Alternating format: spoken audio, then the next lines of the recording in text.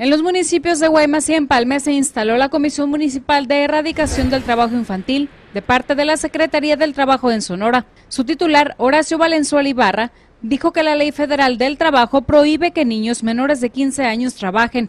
Por esto dijo que tienen un proyecto de padrinos honorarios para que los menores acudan a la escuela y dejen de trabajar. Estamos pensando en un programa muy, muy ambicioso de becas para poderles canjear ese permiso que van a tramitar los adolescentes para poder trabajar, para poderlos quitarle o resolverle la causa que está originando o motivando que vayan a trabajar.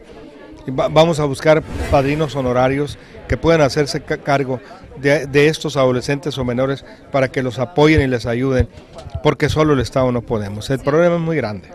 El secretario del Trabajo dijo que los niños de 15 a 18 años sí pueden trabajar, pero con ciertas restricciones de 15 a 18 años sí puede trabajar con ciertos requisitos, con permiso de nosotros de la autoridad laboral, con permiso de los padres o tutores, con un certificado médico que diga que está apto para trabajar, en tareas en horarios restringidos de las 7 a la 1 de la tarde, no a la intemperie, ¿sí?